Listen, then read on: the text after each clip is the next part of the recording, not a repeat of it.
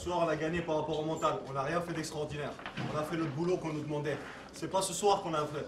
On a juste, on s'est juste comporté comme des joueurs de l'Olympique de Marseille. C'est lourd ce qu'on porte sur le maillot. Ce soir, on a juste fait l'eau. Mais c'est pas fini. Il reste samedi, il reste mercredi, il reste samedi. C'est là qu'on verra à la fin. Là, on n'a rien fait ce soir. On a fait ce qu'on nous demandait. Allez, on y va, les gars. Allez